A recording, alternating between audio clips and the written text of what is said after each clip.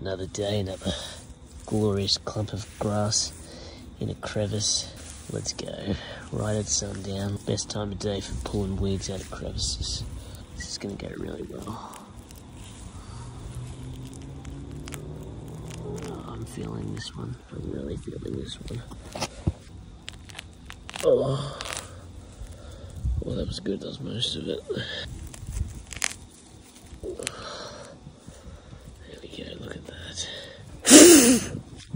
Out of 10.